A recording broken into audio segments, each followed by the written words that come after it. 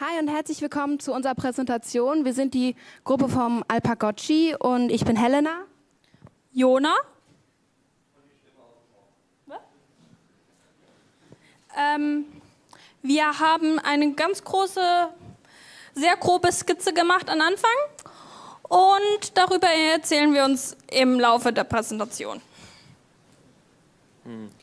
Und zwar waren wir ein Team und wir hatten eine Version allen Menschen eine elektrotechnische Bildung ermöglichen, die soziale Interaktion dieser Menschen und die Menschen generell untereinander zu stärken, Selbstbewusstsein schaffen durch Selbstwirksamkeit, hey, ich habe etwas geschafft, ich bin wer und ich kann auch was, und Nachhaltigkeit durch hochwertige Bildung.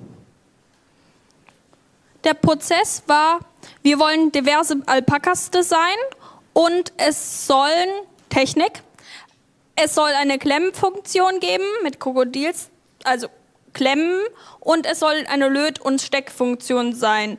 Wir haben hier zwei Steckversionen gemacht. Mehr war nicht drin. Als nächstes kommen wir zu unseren Herausforderungen. Ähm, als allererstes, wir hatten nicht alle Materialien, die wir brauchen. Zum Beispiel das da hinten, das sind sehr große Steckplatten, die hatten wir leider einfach nicht. Die gab es hier nicht. Und dazu gab es auch keine Sachen wie Lampen oder Knöpfe. Deswegen sind wir dann zu kleinteiligeren Sachen, also wie man sehen kann, sind die schon deutlich kleiner, übergegangen. Allerdings gab es das Problem, dass irgendwelche Displays sich nicht mit verschiedenen Microchips verbinden lassen, dass zu wenige Pins gibt, halt die typischen Hardware-Probleme. Und im Endeffekt sind wir dann auf verschiedene Komponente gekommen. Die Komponente, die man hier sieht, ist ein Display, ein ähm, äh, Dreier, also Raspberry Pi 3 und dreh mal um. Die Kabel sind farblich markiert, damit ein Anfänger schnell erkennt, was Ground, also eine, ein Stromkabel, was alles verbindet ist und was die einzelnen Stromkabel sind, die die Knöpfe ansteuert.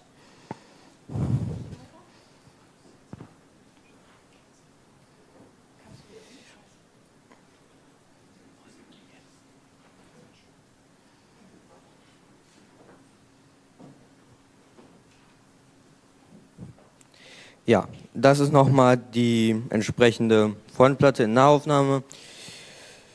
Der geplante Steuerungslayout war, dass wir vier Knöpfe nehmen, welche als Steuerkreuz verwendet werden und einen fünften als Bestätigungsknopf Knopf und als zugrunde liegende Aussparung für das Sache haben wir das, naja, den Header von Jugendhack genommen, das Alpaka.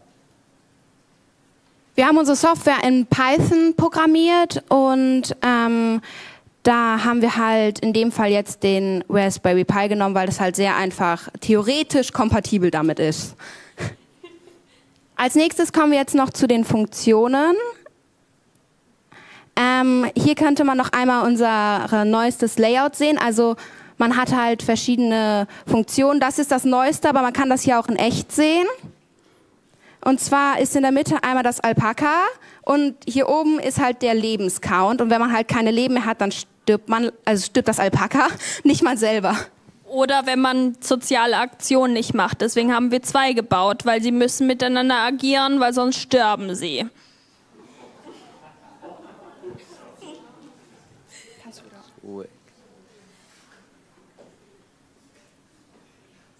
Wir hatten doch wir hatten noch, noch mehr, oder? Ich glaube, mein Laptop ist alle.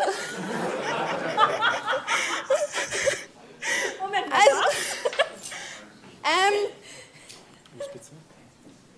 äh, ich mache jetzt einfach mal weiter. Unsere letztendliche Message ist, baut die Alpakichu-Farm auf, weil die ist sehr, sehr wichtig und nur wenn es halt genug davon gibt, kann man gut soziale Interaktionen machen. Und diese Alpakas brauchen natürlich Mate. Das ist eine Grundnahrungsmittel. Und Alpaka-Mate-Marken müssen wir vielleicht installieren, weil sonst wird es zu koffeinreich für das kleine Elektrotierchen. Die gibt's schon, die sind schon installiert, allerdings. allerdings hat es leider nur drei anstatt vier wie wir.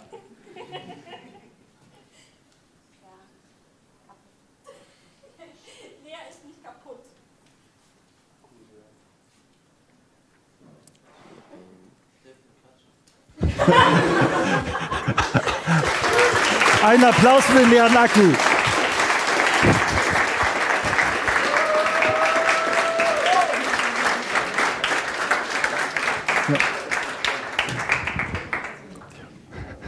Ihr habt also ein Alpaka-Gotchi gebaut. Wie viele, wie viele verschiedene Namensvarianten hattet ihr davon dabei entwickelt? Ich erinnere mich, dass hier einige waren und wir uns alle nicht sicher waren, wie heißt das Projekt jetzt eigentlich? Also ich glaube, es gab insgesamt so 50. Wir sind immer ganz durchgegangen. Jeden Tag hat sich das so 30 Mal geändert und am Ende sind wir halt auf einen Namen gekommen, aber den verwechseln wir auch ganz oft mit anderen Namen. Aber so das Konzept ist immer ähnlich.